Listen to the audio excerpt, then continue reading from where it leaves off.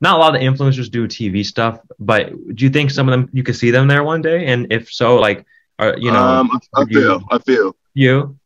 I feel. Um, uh, I, I, a few, and Mhm. I'm. This is this is the most controversial thing I'm gonna say here. Yeah. Um, I, I, there's influencers.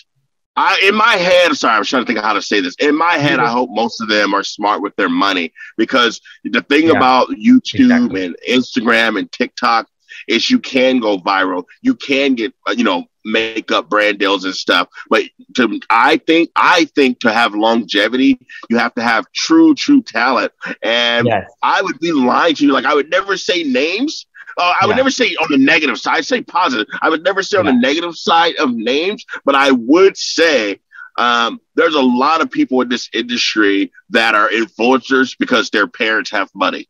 Exactly. And no, that's- I agree with that. That's the secret truth. That's the secret truth that people don't know. I'm gonna And I just want to say this know, is the truth. This is the truth of Austin. So that's the name of this show. So everything Oh, okay. has to be Good. truthful We can be to the point. Okay. I'm very Good. truthful too.